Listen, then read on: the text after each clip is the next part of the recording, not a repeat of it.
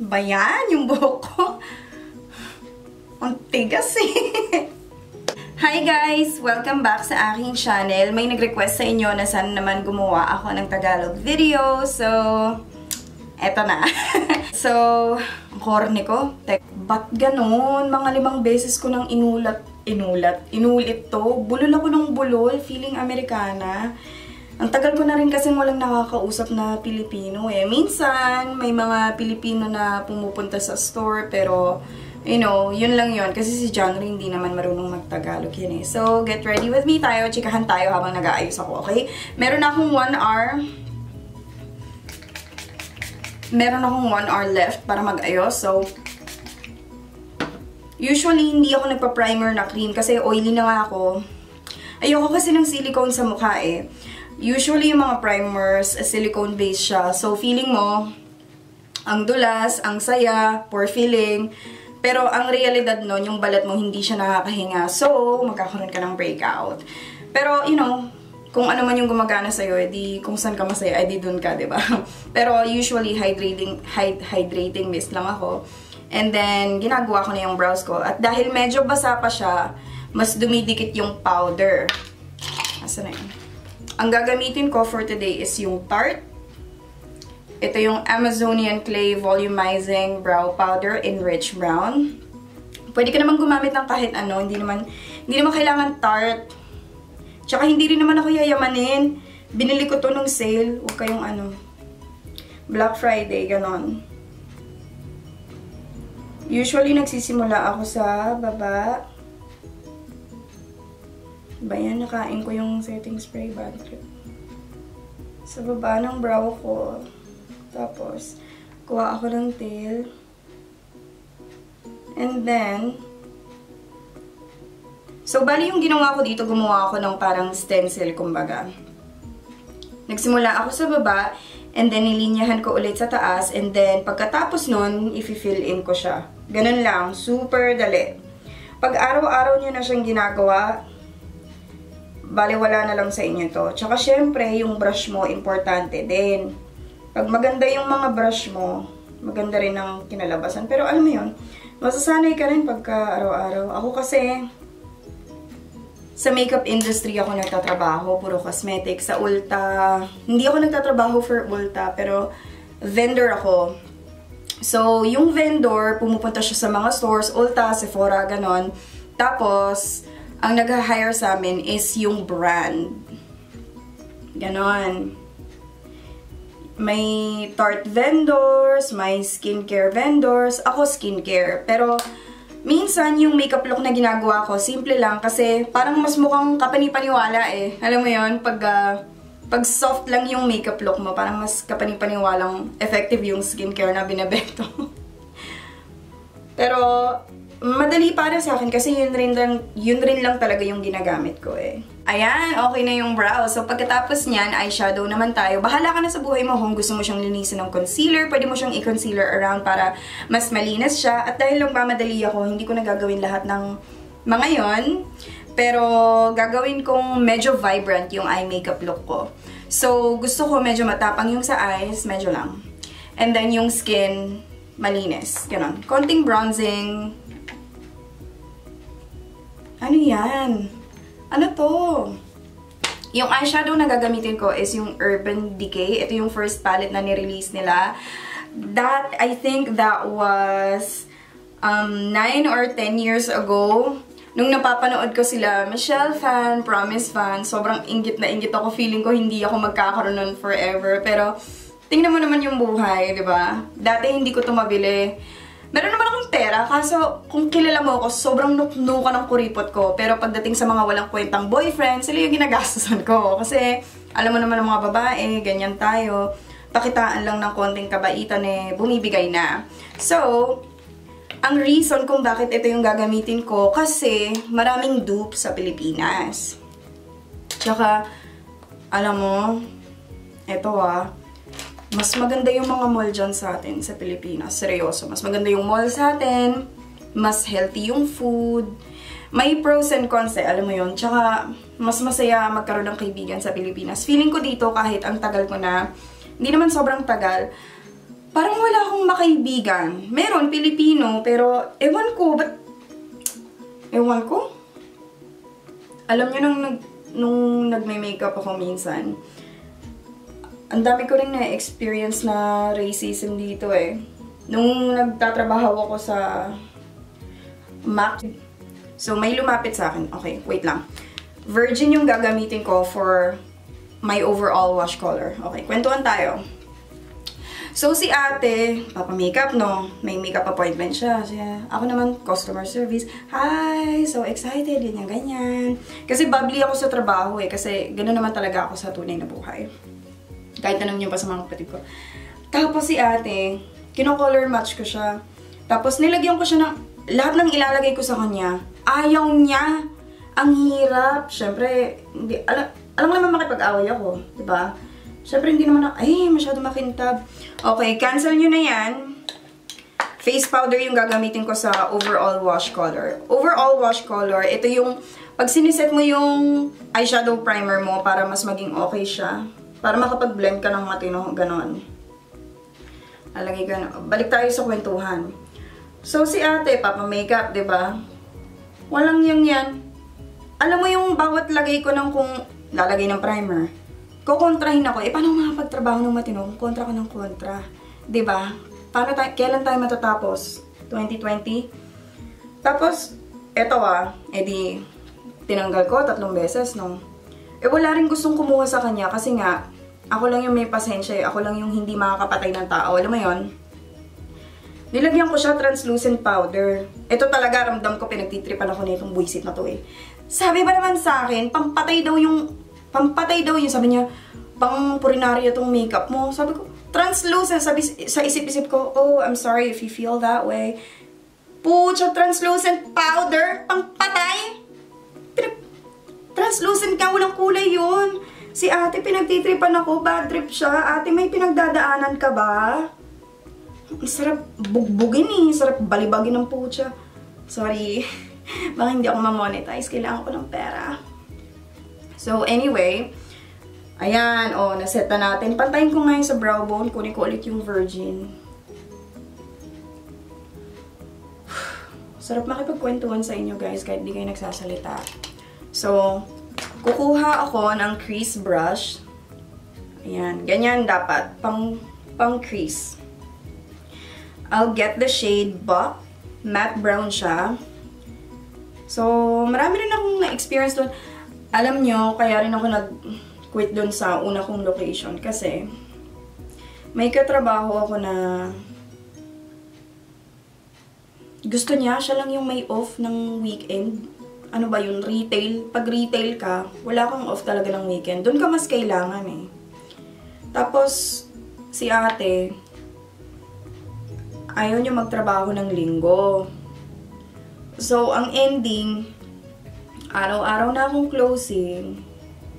Tapos, ako pa sa linggo.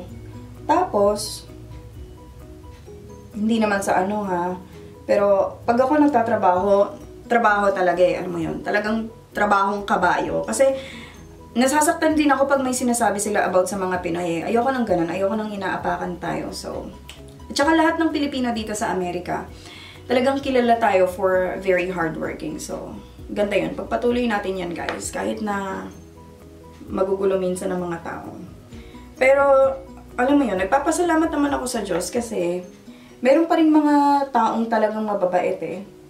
Yung feeling ko talaga hulog ng langit. Sila yung tumulong sa akin nung talagang hirap na hirap kami ni Chandre, na may mga time na hindi na namin alam yung gagawin namin sa buhay namin. Minsan, ako ngayon, namang problema rin ako kay Chandre kasi Ewan ko. Lagi na lang. Siyempre, sino ba namang kakampihan ng mama niya? Hindi siya rin. Sino ba naman ako? But anywho, puro tayo pagsasenti. Ayan, oh. So, kapag satisfied na ako sa itsura niyan, fino-focus ko lang siya sa outer V. Kung napansin nyo, ganyan lang. Mm. Ang lapit ako ha, para makita nyo. Sobrang layo ko ba? Shit, sorry. Sorry. Ayan. Ganyan. Tapos, pagkatapos niyan, yan na yung makeup look ko. Lalagyan ko lang siya ng liquid liner. Liquid liner tayo. Kasi nga, madali. Ah, teka. Ah, okay. Akala ko. Akala ko kailangan ko ng umalis. Aray, shit. Uy! Sorry ah kung kalat-kalat tong video na to. Nagmamadali nga eh. Tsaka hindi naman ako magaling mag-edit. Hindi naman ako parang si Heart Ibang Heart I, for, I forgot her name. Yung may collaboration sa ELF. Alam niyo, daming sikat na Pinoy YouTuber ah, nakakabilib. So ito, $1 lang to. Ang brand niya is Ruby Kisses. And online store sila. Mabibili nyo siya sa Style 21. Start ako sa inner corner. Lapit ako nga, baka may mga magko-comment na naman dyan na, ano ba yan? Walang kwenta naman yung tutorial mo. Okay, focus ka. O, yan. Ganyan yung kinalabasan. Two eyeshadows lang yan. Super dali. And then, line ako from the inner going outer. Ayoko mag-wing ngayon kasi naka-wing ako kahapon.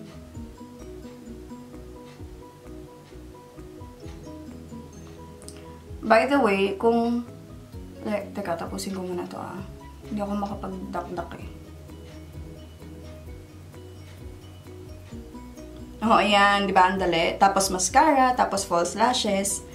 Yun yung eye makeup look ko. Maglalagay ako ng konting brown. Yung same brown na nilagay ko dito. Yun din yung brown na ilalagay ko dito. Okay?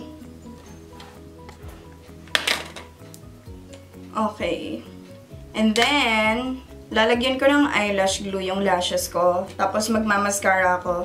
So, habang nagmamaskara ako, medyo natutuyo siya ng konti. Kasi ganun yung technique sa eyelashes, guys. Oh, sobrang lapit naman yan! Okay. Nakikita ba yung kalat? Oh, shit. Ayan. Hindi nakita yung kalat. Okay, so maglalagay ako ng eyelash glue. So, habang natutuyo yung eyelash glue ko, kasi dun siya mas nagiging effective eh. Pag medyo madikit na siya, huwag mong dikit agad. Parang tanga naman to. Didikit agad kaya hindi pa siya madikit nun eh. Kaya talagang hindi dikit yan, gago. Natin. Ang saya ko. Hindi naman masaya yung trabaho ko. Okay, so habang natutuyo, aray, habang natutuyo na yan ng konti, mascara tayo. Shit, ang init. Lashes na tayo. Yung iba, nilalagay muna nila sa gitna. Ako, gusto ko siyang ilagay sa center. Minsan sa inner corner. Depende lang sa mood ko. Pero, yun nga yung technique, guys. Kailangan mag-antay muna kayo kahit one minute para medyo maging tacky yung glue. Also, kapag napapansin nyo na medyo nagtutubig yung mata nyo, tapos hindi naman yung nangyayari dati, baka yung glue nyo lumang-luma na itapon nyo na bago pa mahuli ang lahat at ma-irritate yung eyes nyo. So, alam ko masamang mag-eyelashes palagi. Kaso parang, hindi ako nabubuhay pag wala akong eyelashes. Feeling ko parang nakahubad ako, ganon.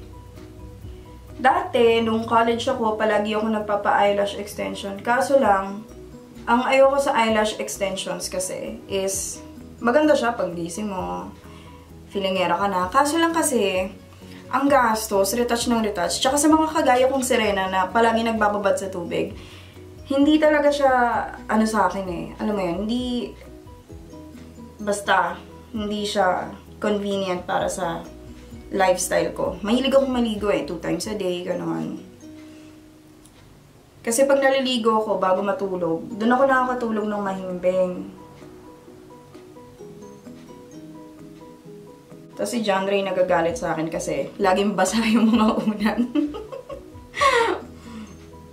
So, na-charge nga kami HOA. So, nag malamang nag-away kami ni John Ray. Sabi niya, ako tong madrama. Diyos ko, pagising ko, alam niyo kung saan siya nakahiga sa sahig. Ang arte. Tapos yung ginamit pa na unan yung maliit na square. Sabi ko, anong gustong patunayan na itong arte? Hindi ko naman siya pinatulog sa sahig, umaarte. Siya na nga yung may kasalanan siya pa yung umaarte. Dapat nga ako yung humiga sa uh, sahig para medyo madrama effect eh. Inagawan pa ako ng roll, buisit. Basta yun nga, yun yung problema namin ngayon, HOA. Laging, napapansin nyo pag sa buhay, hindi talaga siya palaging masaya eh. Kailangan medyo may thrill siya. Kaso lang, alam mo yon minsan yung thrill ng buhay ko sunod-sunod na minsan hindi ko kinakaya, pero dasal lang palagi. Pray, pray, pray. Sa totoo lang, ang hirap ng trabaho. Ang hirap ng trabaho ko dito. Um, basta. Pero syempre, tiis-tiis. And then, foundation naman tayo. Ito yung always and forever na powder foundation ko na pakiramdam ko hindi ko talaga siya kayang ipagpalit na kahit ano, kahit basta. Ito yung number one go-to ko at hindi talaga nawawala sa kit ko. Ito yung Studio Fix by MAC. Na-discover ko to nung gagraduate ako ng high school and yung mama ko, MAC girl siya. Lagi siyang bumibili sa MAC. Tapos, ginamit ko lang one time. Sobrang na-impress ako. Tapos, pagkatapos noon, the rest is history. Nung nagkatrabaho ako, hindi pa rin ako bumibili nito. Lagi ko lang, ang meron lang ako yung binibigay palagi ng ate ko. Uh, never ko talaga siya nabili na yung ako lang. Ito, ito yung pinaka-first. After all those years, kasi lagi lang ako dumedepende sa ate ko kasi siya naman yung mas maraming pera sa akin. Hi, Tata! Sabi ko kay Tata, Tata is Ilonggo is girl, am I right? Sabi ko sa ate ko, dala niya ako ng marami na Filipino makeup. Kasi gusto ko nga siyang gamitin dito sa YouTube kahit na medyo medyo late na ako, okay lang. Kasi I wanna try it eh.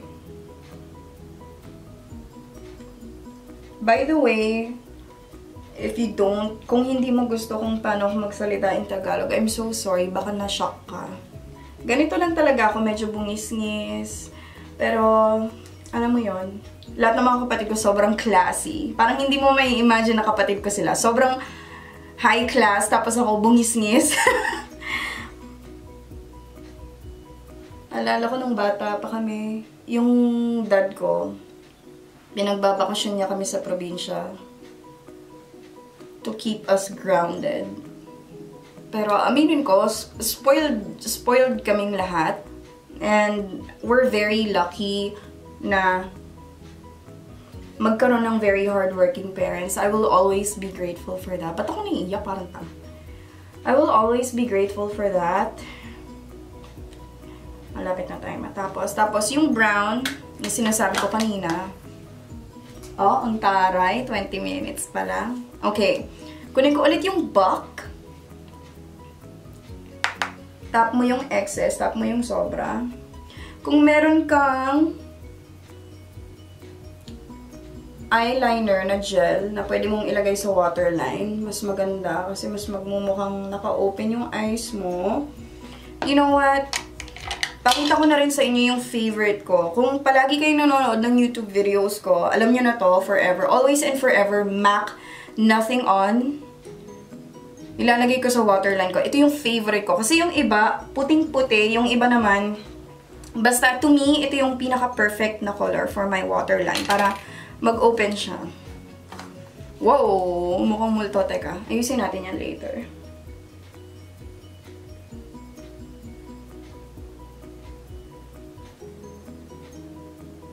Ayan. Sana ma-edit ko to bago ko umalis.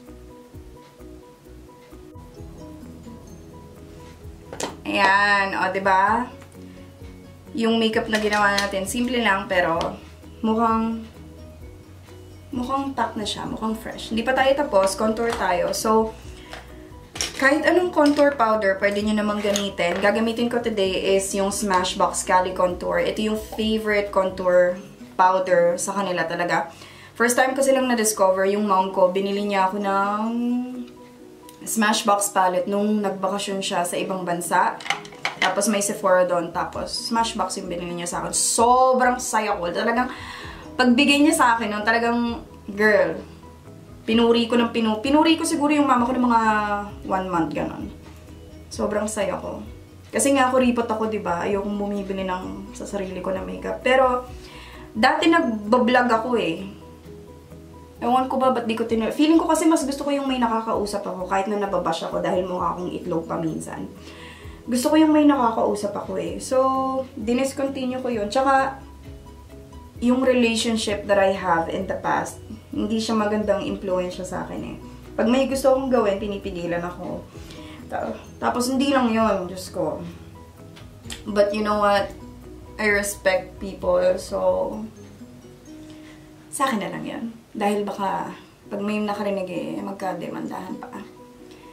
Ayan. So, make sure na yung contour nyo, meron sigurong napuntang konting blush dito sa contour ko, kaya medyo charat siyang tingnan.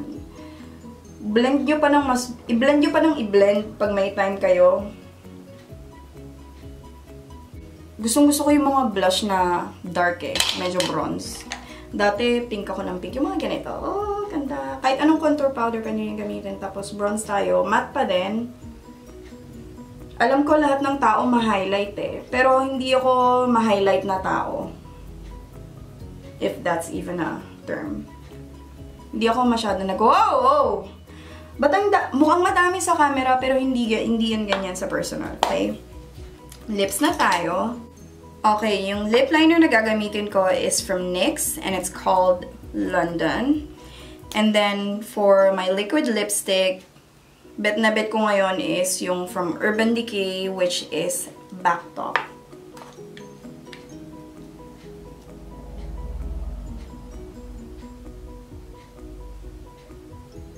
Wow, ang ganda pala ng London. Ba't di ko binili yung lip cream? Bad. Okay. Yung quality niya okay lang, pero yung favorite ko talaga na lip liner is MAC. Talagang yung formula, wala siyang kaparehas. Talagang solid yung kahit makipaglaplapan ka, andun pa rin seryoso. Ganda. Ayan. So this, ayusin natin. This is my final makeup look, guys. Teka, spray muna tayo, tapos magpo-posing-posing ako.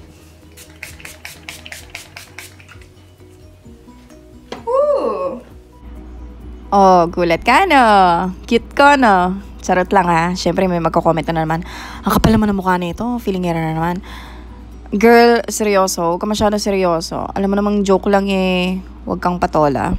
Okay, so ito yung final makeup look. Sobrang sorry kung may lagpas ng konti sa may inner corner ng mata ko, but sana nag-enjoy kayo sa video na to. And minake sure ko talaga na super dali niyang i-follow. Okay? So, ito na yung, ano ba yan? Naghikaw talaga ako para sa inyo, guys. Oh, ba? Diba? So, ito na yung final makeup look, guys. Sana na-enjoy nyo tong video na to. And, kung gusto nyo pa yung mga ganitong video, chikahan, ganyan, or kung gusto nyo yung medyo instructive siya, walang chikahan, just let me know sa baba. And then, subscribe if you haven't already. See you guys next time. Bye!